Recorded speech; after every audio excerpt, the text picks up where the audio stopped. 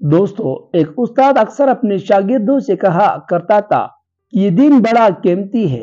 एक रोज एक तालब इलम का जूता पट गया और मोची के पास गया और कहा, मेरा जूता मरम्मत करा दो। इसके बदले में तुम्हें दीन का एक मसला बताऊँगा।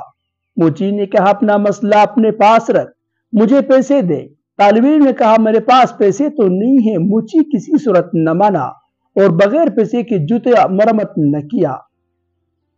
तालिब इल्म अपने उस्ताद के पास गया और सारा वाक्य सुनाकर कहा, लोगों की नज़दीक दीन की कीमत कुछ भी नहीं।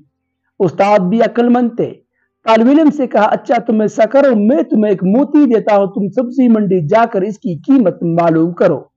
वो तालिब इल्म मोती लेकर सब्ज़ी मंडी पहुँचा और सब्ज़ी फरोश से कहा, इस मोती की कीमत लगाओ। उसने कहा कि तुम इसके बदले यहाँ से दो तीन लेमू उठा लो। इस मोती से मेरे बच्चे केलेंगे। वो बच्चा उस्ताद के पास आया और कहा, इस मोती की कीमत दो या तीन लेमू है। उस्ताद ने कहा अच्छा अब तुम इसकी कीमत सुनार से मालूम करो।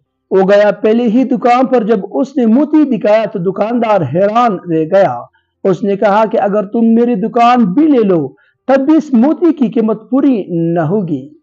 तालिब इलम ने अपने उस्ताद के पास आकर माजरा सुनाया। उस्ताद ने कहा, बच्चे, हर चीज़ की कीमत इसकी मुंडी में लगती है। दीन की कीमत अल्लाह की मुंडी में लगती है। इसकी कीमत को इल, इल्म ही समझते हैं। जाहिल क्या जाने दीन की कीमत को?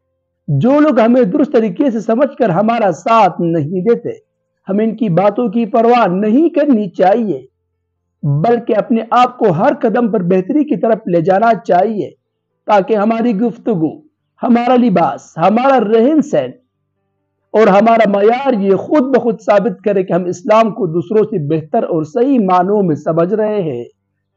अल्लाह से दुआ है कि वो हमें सही मानों में मुमिन बनने की तोफीक अता फरमाए, आमीन।